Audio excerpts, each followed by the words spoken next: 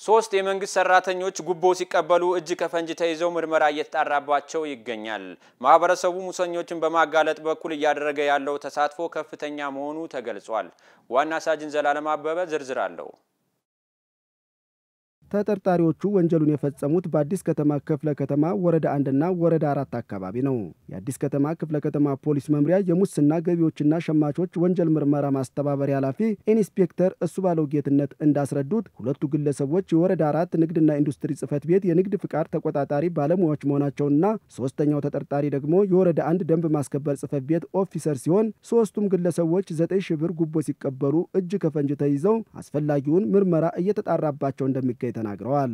ወደ ቦታው የማስጠንቀቂያ ደብዳቤ ይዘው በመሄድ ለምን ያለ ንግድ ፍቃድ ትሰራለህ በማለት አስር ሺህ ብር አምጣ ሲሉት አምስት ሺህ ብር እንደሚሰጣቸው ተነጋግረው ሰዓቱን ቀጠሮ ይዘው ይመለሳሉ። ከዛ በኋላ በሰዓቱ አምስት ሺውን ብር ተቀብለው ሲወጡ እጅ ከፈንጅ በኢንቴሊጀንስ አባሎች የተያዙ መሆኑንና አንድ የደንብ ማስከበር አባል አንድን ግለሰብ በካርቶን እቃ ተሸክሞ ሲሄድ የያዝከው እቃ ኮንትሮባንድ ነው፣ ስለዚህ አምስት ሺህ ብር ካላመጣህ እቃ ይወረስብሃል በማለት ቅጥር ጥበቃዎች እንዳሉ ሲያውቅ እነሱ ሊይዙት ሲሉ ብሩን የተቀበለውን ብር ይበትንና መንገድ ላይ ሩጦ ለማምለጥ ሲል ተከታትለው የያዙት ሲሆን እኛም ምርመራውን ተቀብለን ተጠርጣሪውን በጊዜ ቀጠሮ አስረን ምርመራውን እያጣራን የወረዳ አንድ የአካባቢ ጸጥታ ጥበቃ shift ኃላፊ አቶ ሁሴን ቡሽራ ከአዲስ ፖሊስ ጋር በነበራቸው ቆይታ በስራ ላይ ሆነው እየተንቀሳቀሱ እያለ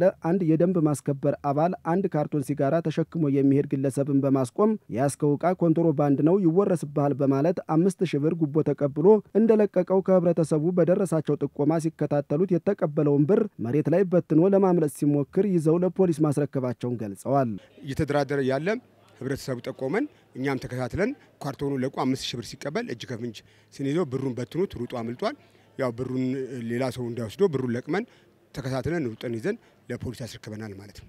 መንግስትና ህዝብ የሰጣቸውን ኃላፊነት በመጠቀም ጉቦ የሚቀበሉ ግለሰቦችን አጋልጦ በመስጠቱ በኩል የማህበረሰቡ ሚና ከፍተኛ መሆኑን የጠቀሱት ኢንስፔክተር እሱባለው የግለሰቦችን ኪስ በማድለብ የሀገር እድገት ነቀርሳ የሆነውን ሙስናን የመታገሉ ተግባር ተጠናክሮ ሊቀጥል ይገባል ብለዋል።